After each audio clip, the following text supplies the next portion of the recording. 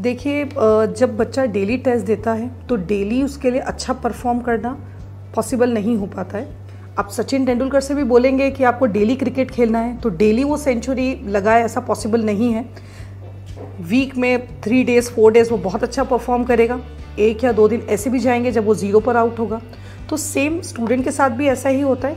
आप अगर daily test देते हैं तो डेली अच्छा परफॉर्म करें ऐसा ज़रूरी नहीं होता है। बट हाँ जब टॉपिक चेंज होते हैं कई बार तो एक स्टूडेंट को भी रियलाइजेशन होता है कि it's it it is maths now या इट इज़ बायो नाउ या इट इज़ केमिस्ट्री नाउ इसमें मेरा उतना अच्छा परफॉर्म नहीं होता है, या इतने में, उसमें इस पर्टिकुलर सब्जेक्ट में मैं इतने अच्छे मार्क्स नहीं लेकर आता हूँ। या स्कोर नहीं कर पाता हूँ या सिली मिस्टेक्स ज़्यादा होती है, मुझे चीज़ें याद नहीं रहती हैं। बहुत सारी ऐसी चीज़ें रहती हैं जो बच्चों के साथ समस्याएँ रहती हैं। हम लोग क्या करते हैं, जब बच्चे को हम लोग बुलाते हैं जैसे बात करने के लिए, अक्सर ऐसे काउंसलिंग सेशंस होते हैं छः छः सात सात बच्चों को एक साथ बुलाया जाता है कि आपकी कोई पर्टिकुलर दिक्कत हो, कोई क्वेरी हो अच्छा बुलाते कौन है? ये डिपेंड करता है। कई बार बच्चे डायरेक्टर सर से मुझसे भी मिलते हैं, या कई बार दूसरे भी काउंसलर्स होते हैं, उनसे भी डिस्कस करते हैं। जो भी उनको कंफर्टेबल लगता है, बहुत सारी पूरी टीम होती है, जिनसे उनको कंफर्टेबल लगता है, वो उनसे डिस्कस करते हैं। अब इसमें क्या होता है, कई बार कि बच्चों को अब वीक जैसे किसी पर्टिकुलर सब्जेक्ट में कोई बच्चा वीक है तो अब वीक की भी बहुत सारी डिफरेंट कैटेगरीज होती हैं।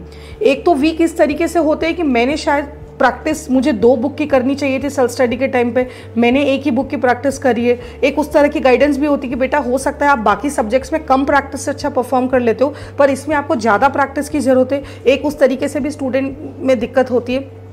कभी कभी जैसे केमिस्ट्री जैसे सब्जेक्ट्स होते हैं, मुझे तो कभी लर्न ही नहीं होता, मैं कैसे लर्न करूँ?